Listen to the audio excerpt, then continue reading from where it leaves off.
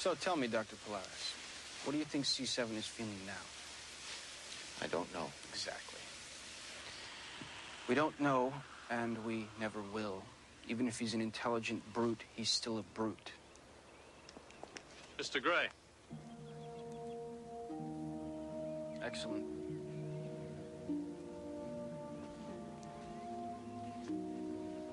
So, my lucky clone. What do you think?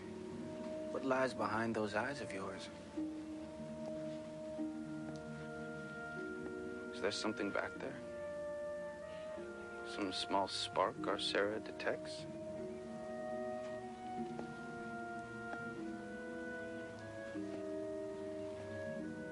Yes, you're almost me.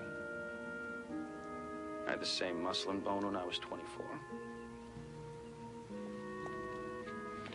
But I had also in mind. You have nothing but luck. More by far tonight than I have.